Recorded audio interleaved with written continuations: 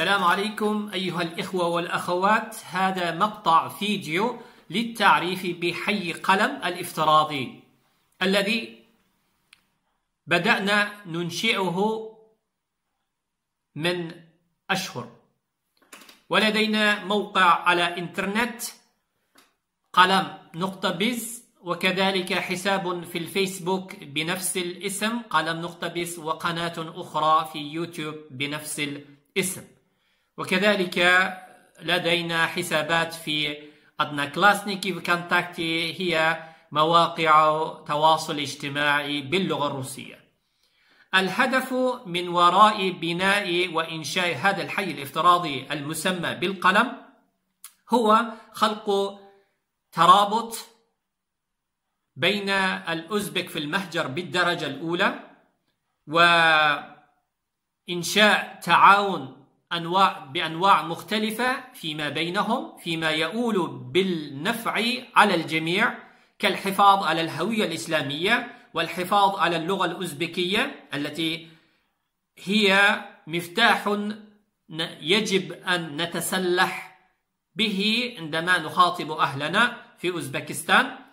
وحتى نقوم بواجب الدعوة تجاه قومنا الذي يفوق 32 مليون نسمة اليوم.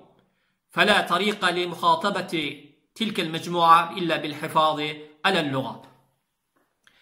وحتى نجلب شبابنا من الجيل الثاني الأوزبك في المهجر إلى هذا الحي الافتراضي المسمى بالقلم يجب علينا أن نراعي إمكانياتهم الحالية من اللغات.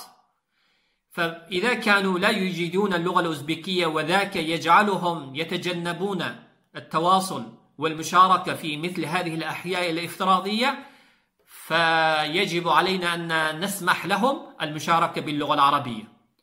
ونحن نهدف أن ننشئ أحياء مستقلة لهذه اللغات كلها حيا بعد حي كحي للغة العربية وحي بالإنجليزية وحي للتركية والروسية والسعودية وغيرها من اللغات التي يستخدمها الأوزبك الجيل الثاني من الأوزبك في المهجر إن شاء الله.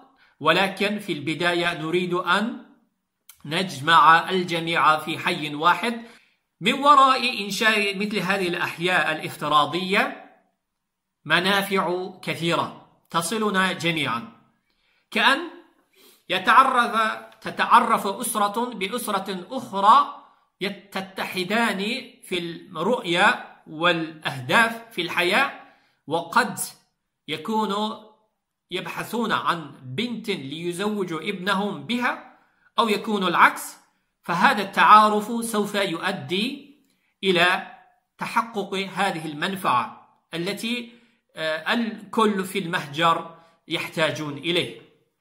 فنرحب بالجميع للمشاركة في حي القلم الافتراضي من اليوم. فأهلا وسهلا بكم في قلم.